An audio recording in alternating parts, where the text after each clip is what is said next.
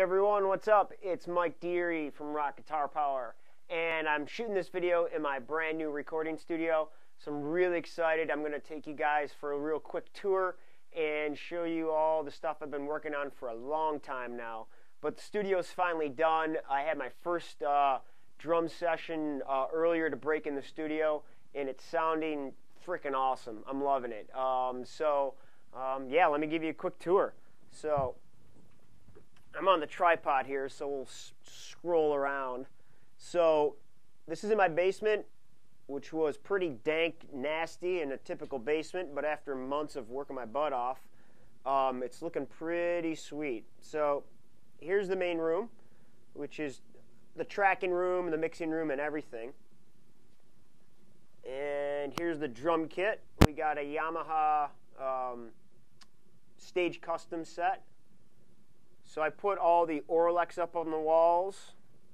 So the sound environment here is nice and even.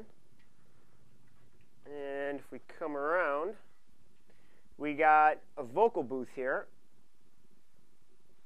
And all these uh, walls you're seeing, I actually made out of cubicle dividers, like office partitions. I found somebody on Craigslist, bought a whole bunch of them for dirt cheap, and made walls out of them, and they work awesome.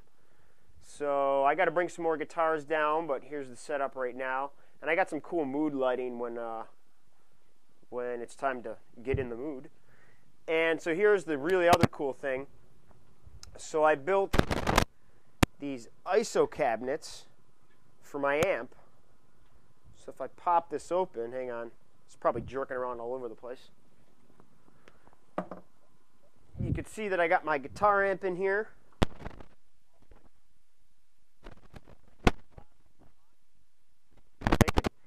And in this one is the computer and all the other stuff that makes noise with fans and all that stuff. And I got my pedal board and a bunch of other cool stuff. So, one of the really cool things I'm excited about is uh, being able to work with bands now and do some really other cool projects for recording and things for rock guitar power. So definitely I'll be keeping you in touch with that. But uh, I did a drum session earlier with my buddy Ryan Barclay. He's in a band called the Moho Collective. You should definitely check him out. He's one of the best drummers I know. Um, you can learn more about them by going to themohocollective.com. But uh, he was by a little bit earlier. We uh, did a drum session and a jamming session to, to get everything mic'd. And uh, so I'll splice that video at the end of this so you can see it and check it out. But uh, really excited. Got a lot of cool things in the works. So um, yeah, I hope you like seeing the studio. And uh, I'll be sure to keep you in touch with the new things that come out with down here. And, uh, and that's about it. Mike Deiure, Rock Guitar Power. We'll see you soon. You not record it? No. we'll do it all once more. Okay. That's somewhere like in between, I think. Like that last thing was At like the end there? because you weren't hearing hearing enough accents of my riff. Yeah, I know it. Just a little bit less than that, and it'd be perfect. Okay, so um, where it, I'll call it the gallop, where it kind of Okay. gallops, but try to put the snare in on the hits. Yeah, So here like, like uh,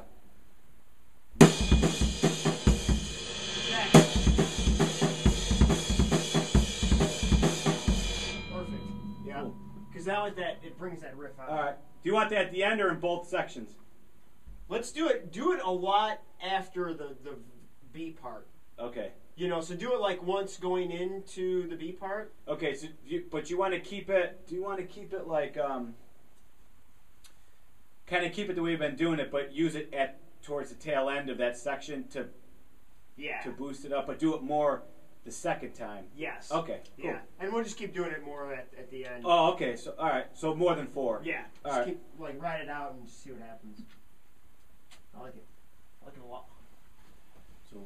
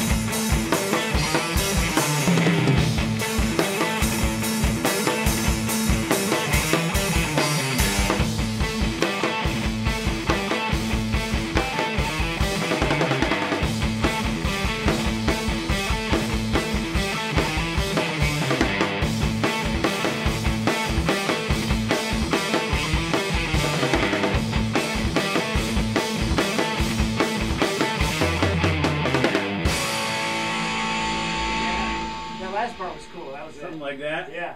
Sweet.